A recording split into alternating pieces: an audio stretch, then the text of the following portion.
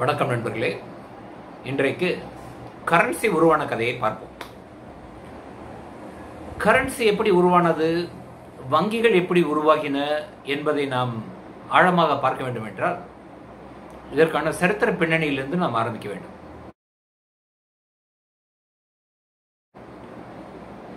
நாம் போக வேண்டிய காலகட்டம் பதினெட்டாவது நூற்றாண்டு.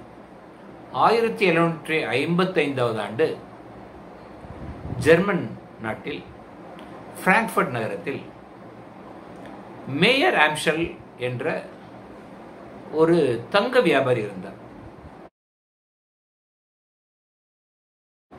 அவருடைய குடும்ப வியாபாரம் அதிர்ஷ்ட கற்கள் புராதன பொருட்கள் தங்க கட்டிகள் போன்றவற்றை விற்பனை செய்து அந்த லாபத்தில் பொருள் ஈட்டி செல்வந்தராக இருந்து வந்தார்கள். அவனுக்கு அந்த தொழிலிலே ஒரு சமயம் அரசனுடைய தொடர்பு கிடைத்தது. இந்த அதிர்ஷ்ட கற்களுடைய பெருமையை விளக்கி அவருக்கு சில கற்களை கொடுத்து அவருடைய நட்பினை பெற்றான் ஆம்ஷன். அப்படி பெற்றபோது அரசருடைய நட்பை வைத்து தான் எப்படி மென்மேலும் செல்வந்தனாவது என்பது குறித்து அவனுடைய யோசனை இன்னும் கூர்மையானது. அப்போது அவன் மற்றவர்களுக்கெல்லாம் கடன் கொடுத்து வந்தான். ஏன்னா செல்வந்தனாவதற்கான முதல் தகுதி கடன் கொடுப்பது தானே. கடன் கொடுத்து வந்தான். அந்த கடனுக்கு வட்டியாக கூடுதல் பொருளை அவன் பெற்று வந்தான்.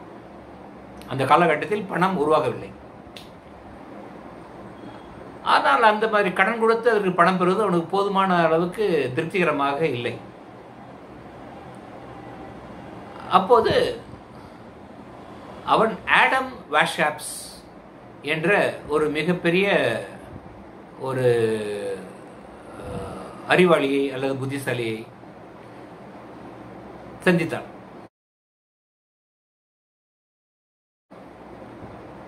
அந்த பின்னணியை இல்லுமினாட்டிகள் என்று சொல்வார்கள். இல்லுமினாட்டி என்று சொல்வார்கள். அது கிறிஸ்துவ சமயத்திற்கு எதிரான ஒரு ரகசிய ஒரு மத சங்கம் தொடர்பான ஒரு செயல்பாடு. அவர்களுக்கென்று தனி தெய்வங்கள் தனி வழிபாட்டு முறைகள் தனி கொள்கைகள் என்று வைத்திருந்தார்கள்.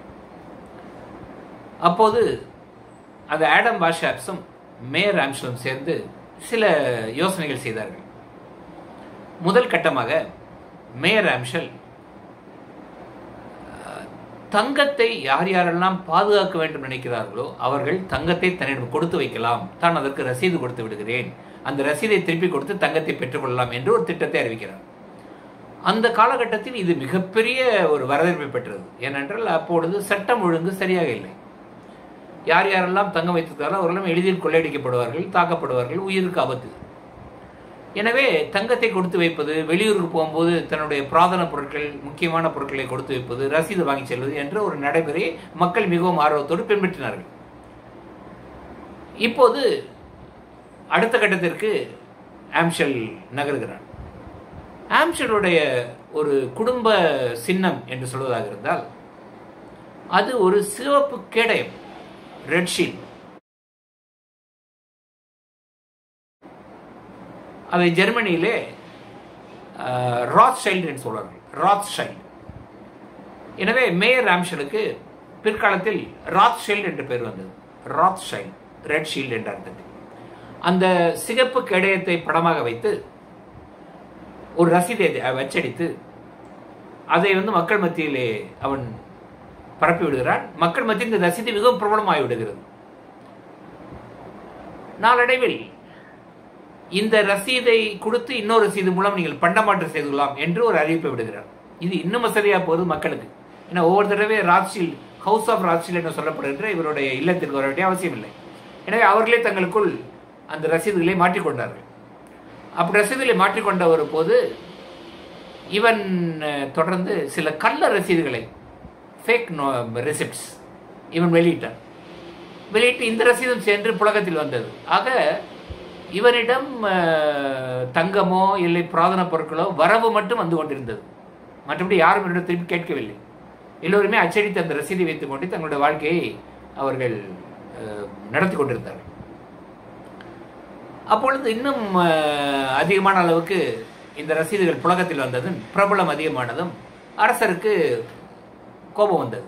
என்ன இவன் அரசாங்க நடவடிக்கைகள் தலையிடுகிறான் என்று அரசாங்கம் ஒரு தணிக்கை ஏற்பாடு செய்தார். ராத்சைல்டுடைய வீட்டில் ஒரு தணிக்கை நடந்தது. அப்போது இந்த தங்கம் இந்த ரசீது இவற்றையெல்லாம் அவர்கள் எல்லாம் ஆடிட் பண்ணி பண்ணினார்கள். அப்படி ஆடிட் செய்வது கணக்கு மிகவும் சரியாக இருக்கவே அரசரே ராச்சலுடைய கணக்கெல்லாம் சரியாக இருக்கிறது என்று பொதுமக்களுக்கு ஒரு சான்றிதழ் கொடுக்க வேண்டிய கட்டாயத்துக்கு தள்ளப்படுகிறார். இது ராச்சலுக்கு இன்னும் வசதியாக போகிறது. அடுத்து ஒரு பயங்கரமான அறிவிப்பை ராச்சல் விடுகிறார். அது என்னவென்றால் என்னுடைய ரசீதிற்கு பண்டமாற்றாக என்னுடைய தான் நான் ஏற்றுக்கொள்வேன். அரசாங்க நாணயத்தை ஏற்றுக்கொள்ள மாட்டேன் என்று அறிவிக்கிறார் இது அரசாங்கத்திற்கு மிகப்பெரிய அதிர்ச்சி தருகிறது. இது அரசாங்கத்தினுடைய நாணத்தை நாணயத்தை மிகவும் அவமானம் செய்தாக இருப்பது என்று அரசர் தன்னுடைய ஆட்சேபை பதிவு செய்கிறார். ஆனால் ராஸ்டல் மிகவும் தைரியமாக துணிச்சலாக இதுதான் என்று முடிவெடுத்துக் கொள்கிறார். ஆக நாளடைவில் ராச்சேலுடைய அந்த பண ரசீதுகள் மட்டும்தான் புழக்கத்தில் இருக்கிறது. அரசாங்கத்து நாணயமே அந்த பிக்சருக்குள் வரவில்லை. எனவே அரசாங்கம் என்ன செய்கிறது? ராச்சேலை கூப்பிட்டு அரசாங்க நாணயம் அச்சிடுதல் போன்ற அந்த ரசீதுகள் தயாரித்தலை அரசுடைமையாக்குது என்று அவர்கள் ராச்சேல் ஒரு உடன்படிக்கை செய்து கொள்கிறார்கள். இந்த நேரத்தில் ராச்சேலுடைய ரசீதுகள் ஜெர்மனியில் மட்டுமல்ல ஐரோப்பா முழுவதுமே பிரபலமாகிறது. முழு ஐரோப்பாவுமே ராச்சேலுடைய ரசீதை பரிமாறும் போது சில சிக்கல்கள் ஏற்படுகின்றன. ஏன்னா ஒரு நாட்டிலே தங்கத்திற்குரிய மதிப்பு வேறு இன்னொரு நாட்டில் தங்கத்திற்குரிய மதிப்பு வேறு. எனவே தங்கத்தினுடைய மதிப்பு மாறும்போது இந்த ரசீதுடைய மதிப்பு மாறுகிறது. இவற்றை மாற்றிக்கொள்ள குழப்பம் ஏற்பட்டவுடன் ராச்சல் என்ன செய்கிறார் என்றால் ஒவ்வொரு சுங்கச்சாவடி பக்கத்திலும் ஒரு பங்கா என்ற ஒரு டேபிளை போடுகிறார். பங்கா என்றால் ஜெர்மனியில் டேபிள் என்று அர்த்தம். அந்த டேபிளும் ஒரு சேரையும் போட்டு ராசியலுடைய ஆள் நம்பகரமான ஆள் ஒருத்தன் நாங்கள் உட்கார்ந்து கொண்டு இந்த பரி பரிமாற்றங்கள்லாம் செய்து கொண்டிருக்கிறார். இதுதான் பிற்காலத்தில் மணி எக்ஸ்சேஞ்சாக மாறியது. இப்படி தொடர்ந்து ரசீதுகள் பரிமாற்றம் நடைபெற்றவுடன் அந்தந்த அரசாங்கத்திற்கு ஆபத்து ஏற்பட்டது. அவர்கள் எல்லாமே ஆட்சேபனை தெரிவித்தார்கள் பிரச்சனையை உருவாக்கினார்கள். எனவே ராஷியல் யோசித்தார். அந்த அரசாங்கங்களுக்கெல்லாம் இவன் கடனுதவி செய்ய ஆரம்பித்தான். அப்போ அரசாங்கங்கள் கடனுதவி பெற்றவுடன் வாயை மூடிக்கொண்டன. நாளடைவில் ஒவ்வொரு அரசாங்கமுமே இந்த ரசீது அச்சடிக்கக்கூடிய விஷயத்தை நாட்டுரிமையாக்கி அவருடைய நாணயத்தை அச்சிடக்கூடிய ஒரு உரிமையையும் ராஷியலுக்கு தருகிறது. ஆக இந்த ரசீது என்பது மிகவும் வெற்றிகரமாக ஆகிவிடுகிறது. நாளடைவில் இதற்கான ஒரு அமைப்பை அவன் உருவாக்குகிறான். இந்த பங்கா என்பது ஒரு பெரிய அளவுக்கு நிறுவனமாக வருது. பங்கா என்பதுதான் பிறகு பேங்க் என்று மாறியது அப்படி நிறுவனத்திற்கு அவன் வைத்த பேர் பேங்க் ஆஃப் இங்கிலாந்து என்ற பெயர் வைத்தான் அப்ப பேங்க் ஆஃப் இங்கிலாந்து என்பது ராஜ்சைலுடைய ஒரு நிறுவனம். ஹவுஸ் ஆஃப் ராஜ்சைலுடைய ஒரு நிறுவனம். அந்த நிறுவனத்தின் மூலம் ஒட்டுமொத்தமான பொருளாதார ஒரு கண்ட்ரோல் அனைத்தையும் அவன் எடுத்துக்கொள்கிறான் கொஞ்சம் கொஞ்சமாக இந்த நடவடிக்கைகள் அமெரிக்காவுக்குள் நுழைகின்றன.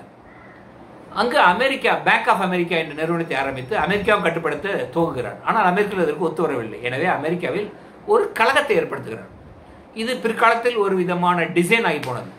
எந்தெந்த நாடெல்லாம் தனக்கு ஒத்து வரலையோ அந்த நாட்டில் ஒரு கழகத்தை ஏற்படுத்த வேண்டியது. அந்த கழகத்தை ஏற்பாடு பண்ண செய்தவுடன் அந்த கழகத்தை தீர்ப்பதற்கு இவரே முயற்சி பண்ண வேண்டியது. அதனால் ஏற்பட்ட நஷ்டத்தை நிவர்த்தி செய்வதற்கு இவரே ஏற்பாடு பண்ண வேண்டியது. ஒவ்வொன்றிலுமே லாபம் என்று ஆகி போனது சில சமயத்தில் இந்த கழகங்கள் போதாது என்று இரு நாடுகளுக்கு இடையே போர் கூட கொண்டுவிடும். இரு நாடுகள் இரு குழுக்கள் போர்களும் மூண்டுவிடும் அப்போது இரண்டு பேருக்குமே ஆயுதம் சப்ளை செய்வது இரண்டு பேருக்குமே பணம் கடன் உதவி கொடுப்பது இருவரிடமே நம்ம லாபங்கள் ஈட்டுவது என்று ராசியலுடைய தொழில் விரிவாக்கம் செய்தது. ஆக அமெரிக்காவில் ஏற்பட்ட கழகத்தை சமாளிக்க முடியாத அந்த நிர்வ நிர்வாகம் அந்த பொறுப்பையும் ராசியிடம் கொடுக்கிறது. அதை வெற்றிகரமாக சமாளித்து மிகவும் திறமையான வகையிலே பேங்க் ஆஃப் அமெரிக்கா உருவானது. ஆக bank of England bank of America என்ற அந்த பேங்க் நிர்வாகம் என்பது வழக்கத்தில் வருகிறது. அவர்கள் அச்சடித்த நாட்கள் தான் பின்னால் கரன்சியாக மாறுகிறது. பிறகு இந்த தொழிலை தொடர்ந்து செய்ய தன்னுடைய அடுத்த தலைமுறையாக இவருடைய மகன் அந்த பொருளை எடுத்துக்கொள்கிறான். அந்த தொழில் இன்று வரை தொடர்ந்து அடுத்தடுத்தடுத்து தலைவர் தலைவா வந்து கொண்டிருக்கிறது. தன்னுடைய உயிரிலே ராஜ்ஷெல் என்ன எழுதியிருக்கிறார் என்றால் தனக்கு சொந்தமான ஹவுஸ் ஆஃப் ராஜ்ஷெல் எந்த காலகட்டத்திலும் எந்த அரசாங்கமும் எந்த நீதிமன்றமும் தணிக்கை செய்யக்கூடாது. என்று தன் உயிரில் எழுதியிருக்கும் தன் உயிரிலே எந்த அரசாங்கமும் தணிக்கை செய்யக்கூடாது என்று எழுதுவதென்றால் எவ்வளவு ஒரு ஆணவம் செல்வாக்கும். இன்று வரை ஹவுஸ் ஆஃப் ராஸ்டில் எந்த விதமான தணிக்கைக்கும் ஆட்படவில்லை. அந்த செயல்கள் இல்லும் நட்டிகள் என்று சொல்லப்படுகின்ற பல வகையான குடும்பங்களின் பின்னணியோடு வெற்றிகரமாக நடந்து வருகிறது. அவ்வளவுதான். இது யோசிக்க வேண்டிய கதை. இதை குறித்து இன்னொரு பதிவிலே இன்னும் விளக்கமாக பார்க்கலாம். நன்றி. வணக்கம்.